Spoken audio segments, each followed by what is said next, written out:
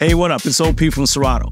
So you just downloaded and installed Serato Sample, and you want to use it inside of Ableton Live, and potentially with your push controller. I'll show you how to do this. Let's go. Once you've downloaded and installed Serato Sample, it should appear in the Plugins tab of the Ableton Live browser. If it hasn't, you might want to ensure that Ableton Live is scanning for plugins. To do this, go to the Plugins Preference menu, or if you're using Ableton Live 10.9 or below, this will instead be located in the File slash Folder tab of the Ableton Preferences menu. If you've installed Serato Sample as a VST, turn on Use VST Plugin System folder. If you have a custom location for VSTs, turn on Use VST Plugins Custom folder as well. If you have installed Serato Sample as an Audio Units plugin, then turn on Use Audio Units.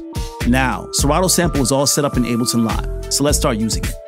There are two different ways to use Serato Sample in Ableton Live. You can simply load it up like a normal MIDI instrument, or if you're using the Ableton Push hardware, you can load it into the drum rack to make use of the push features.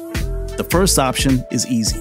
Create a blank MIDI track and insert Serato Sample from your VST or Audio Units instrument plugins. Just make sure that your keyboard octave is set to the same range as Serato Sample. Press the letters Z or X to shift octaves up or down, respectively. For producers who use an Ableton Push and want to get the most value out of their hardware features, the second option is to insert it into a drum rack. To do this, we'll first insert a drum rack into an empty MIDI track. Go to your plugins and select Serato Sample as either a VST or Audio Units plugin and insert it into the drum rack. Now, inside the track's drum rack itself, click on the selector for Show slash Hide Chain List. And then in the drum rack, click on the selector for Show slash Hide Input slash Output Selection. To the right, in the drum rack's chain for Serato Sample, click the Receive dropdown, and then change it from default C1 and select All Notes.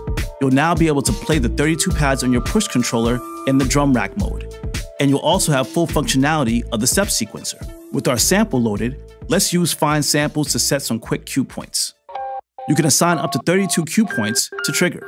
You can also manually place cue points anywhere in your sample by pressing the pads at the desired section of the sample.